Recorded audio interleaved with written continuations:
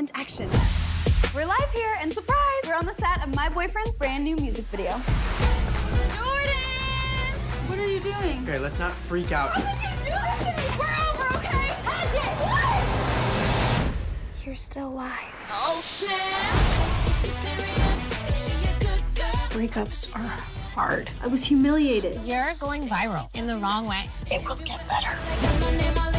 Makeovers are my thing. When I first met him, he was 120 pounds of bad hair. Why don't you just make another Jordan? I will create the next prom king. You make it sound so easy. You don't think I can do it? No, but I do think it'll be fun watching you try. A bet? Oh. I'm in. Just so you don't make it too easy on yourself. We'll pick the guy.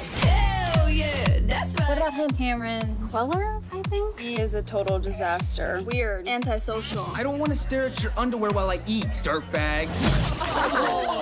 Great. Cameron, hey. I was hoping I could take a writing lesson this morning, and I figured since you and I are friends, Ah, friends? in the sense that we go to school together, Kind of a loose definition, don't you think? Not bad. You really can't enjoy this without sharing it with like 500 strangers. just capturing the moment. I like it. Disgusting. I'm sorry.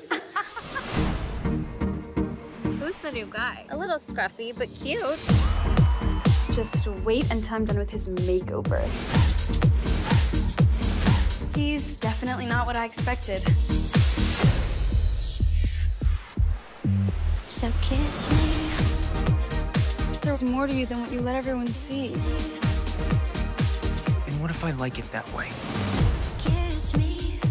You're falling for our little project. Things aren't always the way they seem. So I was a bet. You can all go to hell. I really screwed up, Mom. It's only a mistake if you don't learn from it. Things with Padgett may have gotten a little more complicated than I thought. So kiss me.